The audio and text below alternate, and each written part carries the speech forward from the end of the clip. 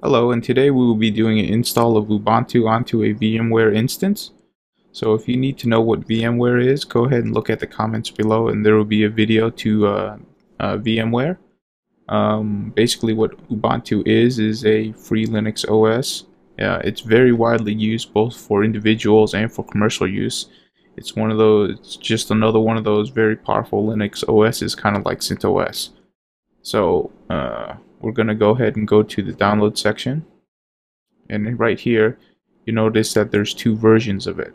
And they're basically uh, both the same thing. It's just that the desktop version has the front-end GUI applications and the server version does not. And it might actually contain uh, some server uh, applications that you might need over here in the desktop. So really, you can make the desktop version have everything the server version has and vice versa. So the server version can have everything the desktop version. So for our purposes, we're going to go ahead and download the desktop version because it does have that nice GUI front end. And um, we'll take a moment to actually review the uh, GUI front end. I'm going to download the 64-bit version.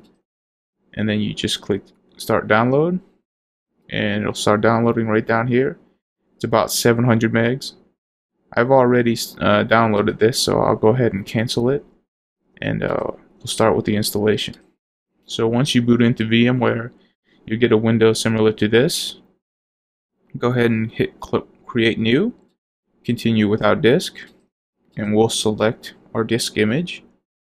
So we'll select the disk image, hit Open, continue. So it'll say Ubuntu 64-bit go ahead and put in your password.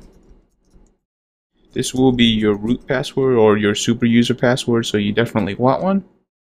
I'm going to unselect this because I don't need the home folder accessible to my virtual machine.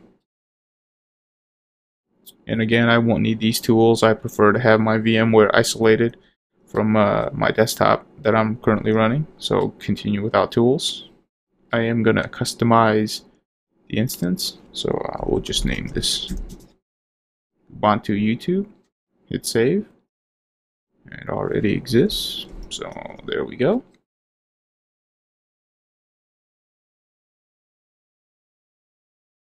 And the only thing that I'm going to change is that I'm going to add 2 gigs of RAM and I'll give it another core. Other than that, uh, you can leave everything at defaults and then you can go ahead and start the install. One of the nice things about Ubuntu is that they have made this pretty muchly uh, once you start the install it'll do everything by itself.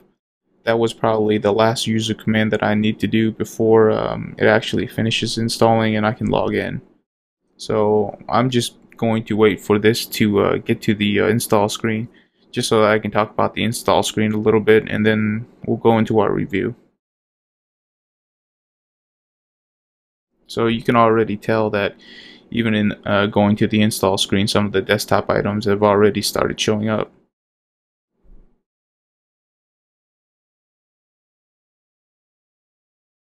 Uh, this is one of those uh, installations in which you definitely want you to have a network connection working because it will be downloading files from the uh, from their servers. And uh, I'm pretty sure that if you don't have a uh, internet connection it will still down uh, it'll still complete installing but you will not have the latest files. So during this install you can actually uh, select this button and you can kind of go through this, uh, to see what Ubuntu desktop has to offer but um, this is just something that uh, you can do. But at this point, I'm going to go ahead and pause the video and uh, wait for this to uh, complete. And we are back. Uh, the installation is about to finish. Um, just before the installation is uh, done, there is a reboot that happens.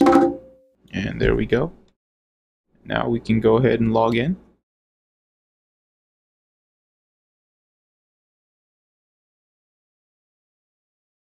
So before we actually go into the review of uh, the desktop, let me go ahead and change the resolution.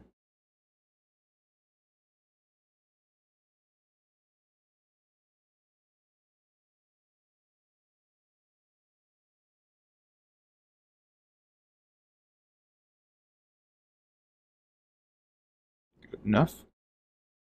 Okay, so I guess the uh, first thing we should cover is that uh, you'll see that this is uh, full screen mode right now.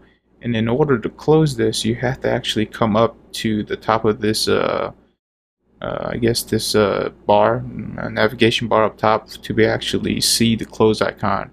Otherwise, you don't see it. It actually takes a little bit getting used to. So you can go ahead and close that out. And we'll just start over here on the right. So right over here is your standard uh, commands that you would need, uh, system commands.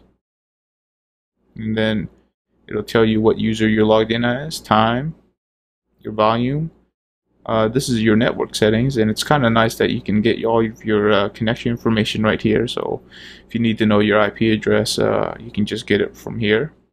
Uh, this has integration to both Facebook and Twitter, so if you're into that kind of thing, it's kind of nice. And if you may have noticed that uh, down here, this icon started twitching. And that's because uh, we have a whole bunch of uh, updates that we need to apply to this install. And um, I guess this would probably be, be the primary reason why there's a desktop version and there's a server version is because, you know, with this nice slick GUI, you're going to have to uh, keep it up to date. As you can see, there's 138 megs worth of downloads to have to go through. With a server version, since uh, there is no GUI front end, everything is a command line, you don't have to go through the uh, trouble of having to do this. So we'll go ahead and uh, start the uh, download. And also in the command line, you can also look for updates right here. But uh, the, we might as well cover this part first then is the uh, this workspace icon. And this is probably one of the neater things of Ubuntu is that when you select this, you get four uh, desktop spaces that you can switch to. So I can automatically switch to this one, and now I have free space to do other things. Like if I wanted to start Firefox, which is the uh, default browser, and again, in order to close Firefox, you need to come up to this navigation bar up top to close it but at any time I can hit this, come back over and check for uh, how long the uh, update has to go. So that's just uh, one of the nice features to it. Alright, let me close this out. Right up top here is the dash home. So this would be where you can search for applications. Although I'm not sure why there isn't one which it just shows you all of your applications. There's one for video, one for audio, one for folders. This one shows you the recent just installed and uh, available downloads, but there isn't one which it just shows all of them. Like for instance, uh, since this is a Linux OS, the terminal is still very, very muchly used to uh, install software.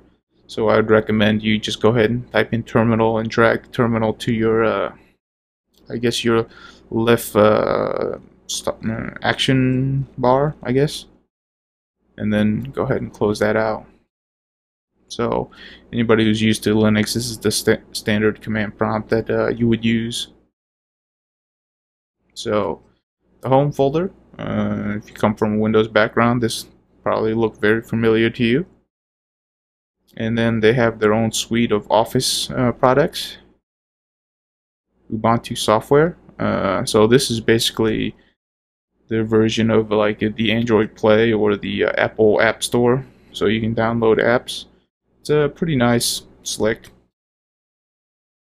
uh, system settings kind of self-explanatory ubuntu 1 so this is uh, ubuntu's version of uh, dropbox or I'm, I'm not sure which one, uh, what Microsoft calls theirs, but basically you can sign up and get 5 gigs of uh, free cloud space.